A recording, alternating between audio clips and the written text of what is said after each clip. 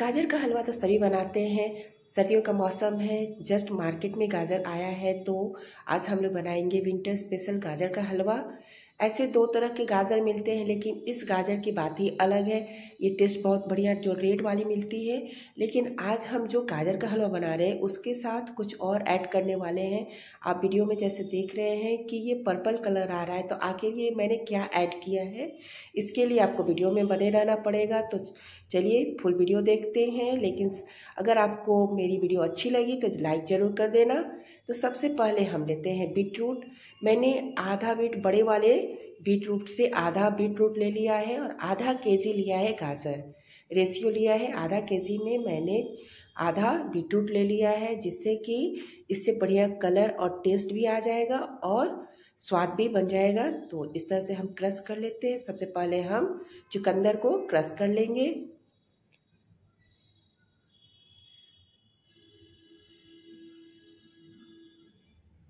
Single अगर हम चुकंदर का बनाते हैं, हलवा तो सभी नहीं उतना लाइक करेंगे क्योंकि सभी को वैसा पसंद नहीं आता है।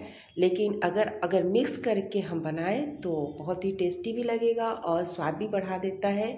अगर आपने ट्राई नहीं किया है तो ज़रूर एक बार ट्राई करना। मेरे तरीके से इस तरह से मैंने दोनों चीज़ें क्रश कर दिया है और कलर बहुत बढ़िया आया है। इस तरह से गाजर का हलवा का भी कलर बढ़िया आएगा और स्वाद भी बहुत बढ़िया आएगा। तो चलिए चलते हैं। अब इसको हम पका लेंगे।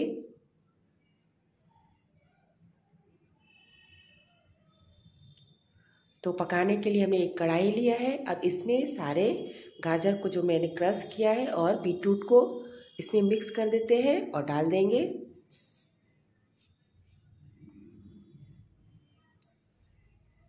आधे किलो गाजर में मैंने एक लीटर दूध मलाई वाली फुल मलाई जो होती है, ऊपर आ जाती है, हम लोग बॉयल करते हैं तो इसमें मिक्स कर देंगे और इसे हम गाढ़ा होने तक पका लेते हैं। जब तक कि एकदम अच्छी तरह से ये पक नहीं जाता है, सूख नहीं जाता है तो सूखने तक हम इसको पकाएँगे।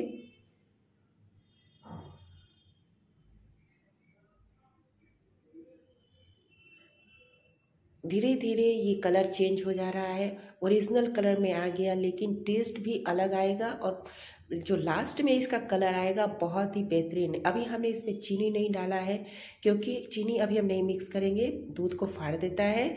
तो अच्छी तरह से इसको पका लेने के बाद ही हम चीनी ऐड करेंगे। ये पूरी अच्छी तरह से पक चुकी है। अब इसमें हम डाल देते हैं एक कटोरी चीनी।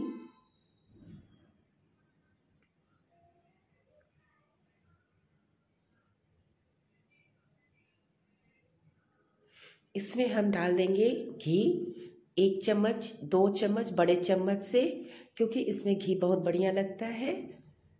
अच्छे तरह से भूनेंगे, जब तक कि तली इससे सेपरेट नहीं होता है घी, तब तक हम भूनते भूनते क्या होता है कि हमें पता चल जाता है कि हाँ ये अब भुन गया है, जब तली में से घी छोड़ने लगता है, तब तक हम इसे भूनेंगे।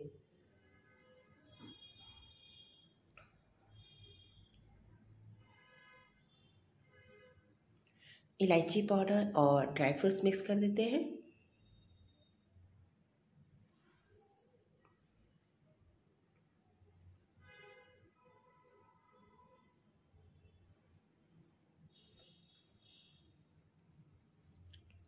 फाइनली हमारा गाजर का हलवा तैयार हो गया है, जो कि बहुत ही पौष्टिक भी है और जिस तरह से इसमें हमने ऐड किया है चुकंदर को बहुत ही बढ़िया लगता है टेस्ट भी और कलर तो एकदम मस्त आया है तो आप भी एक बार ज़रूर ट्राई करना। और गरम गरम हम सर्व करते हैं। विंटर सीज़न का स्पेशल ये स्वीट्स है, इसे हम मिस नहीं करेंगे। तो चलिए गरम गरम हम सर्व करें।